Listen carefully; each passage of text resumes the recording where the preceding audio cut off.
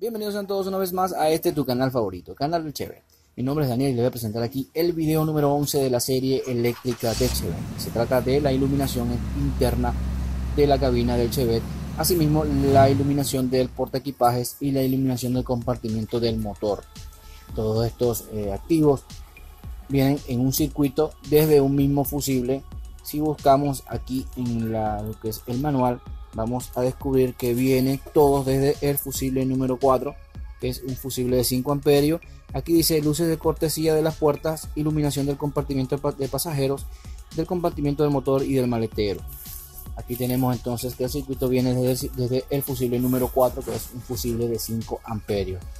Mis amigos como ya saben apoya al canal dándole me gusta comparte el contenido síguenos en facebook que también estamos en facebook y así ayudas a crecer esta gran familia a su vez, te invito a que te unas. Abajo está el link de nuestro grupo de WhatsApp de Chevetero. Vamos a comenzar entonces el video mostrándole la primera parte que es lo que es las luces de cortesía o la iluminación interna de la cabina. Esto se debe a estos dos pequeños switches que lo vemos en las puertas, en el marco de las puertas, ya sea del vehículo de dos o de cuatro puertas.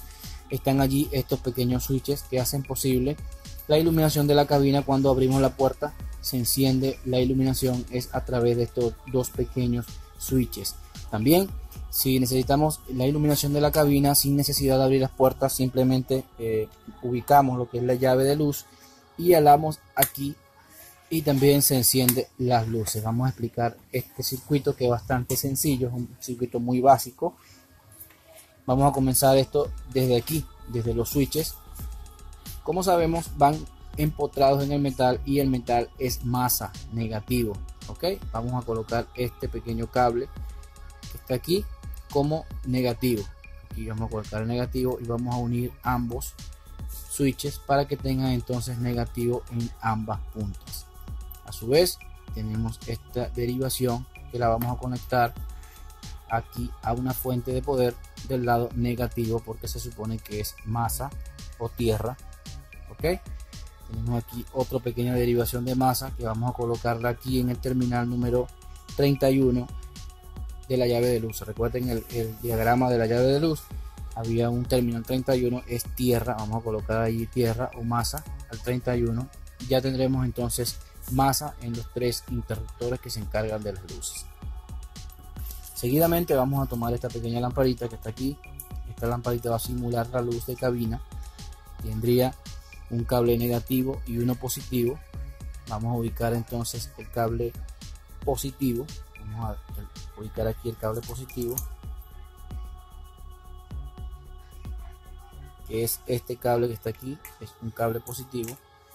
Fíjense va ligado directamente a la llave a la caja de fusibles perdón el fusible número 4 vamos entonces a ubicar aquí. Polo positivo simulamos que esto es la caja de fusibles y este es el fusible de 4 de 5 amperios perdón y vamos a conectar aquí el positivo. Fíjense que a partir de aquí ya tendría entonces este cable tendría corriente positiva este cable rojo que viene aquí va ligado directamente aquí al bombillo en este cable que se, se aprecia aquí es el positivo. Ya tendría positivo. Para que este bombillo pueda encender se requiere negativo fíjense. Ahí enciende porque es negativo. Entonces desde allí va a partir un par de cables negativos. Que aquí lo tenemos esta pequeña derivación negativa con dos terminales. Cada terminal va a ir ligado directamente a cada uno de, de los switches. Si se fijan vamos a conectar aquí el primer terminal. Ya encendió la lámpara sería la puerta del pasajero y esta sería la puerta del piloto. Fíjense ambos llevan el mismo cable conectado aquí al terminal y vuelve hacia la lámpara. Tendríamos entonces aquí un tercer cable que viene aquí que también es negativo. Vamos a conectarlo en el terminal y de la llave de luz.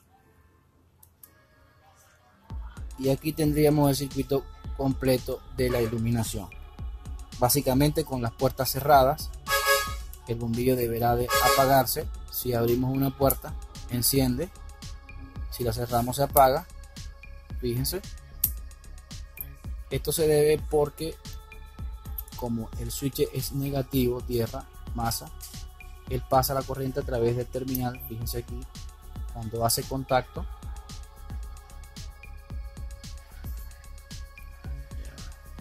cuando hace contacto aquí del metal pasa negativo aquí hace un pequeño puente y le da la masa al bombillo para que pueda encender. Fíjense aquí vamos a, simular que están ambas puertas cerradas. Tenemos ambas puertas cerradas pero queremos iluminación. Entonces alamos aquí el switch y ahí tendremos iluminación. Fíjense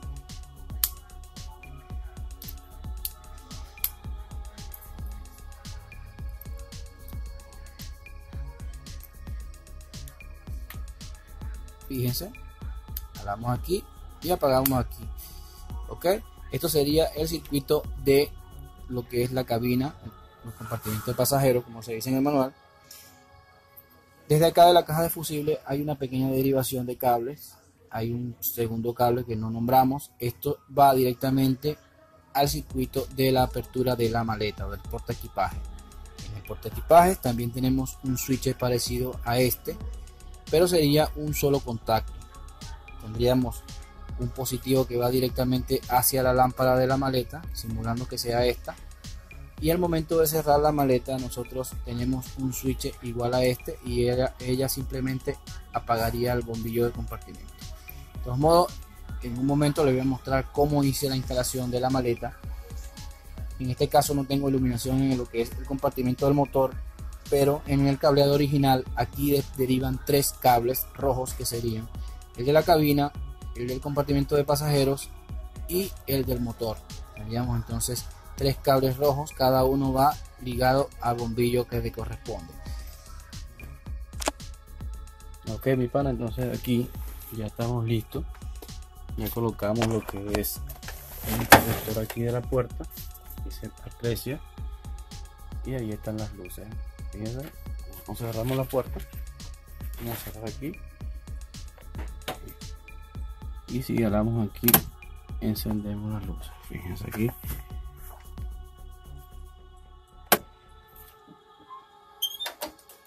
También le instalamos aquí lo que es la, la puerta del porta equipaje fíjense. Cuando cerramos se enciende la luz. Esto ha sido todo por hoy. Espero que te suscribas al canal le des me gusta compartas el contenido. Estamos en whatsapp y no te olvides de unirte a nuestro nuevo grupo chevetero. Saludos a todos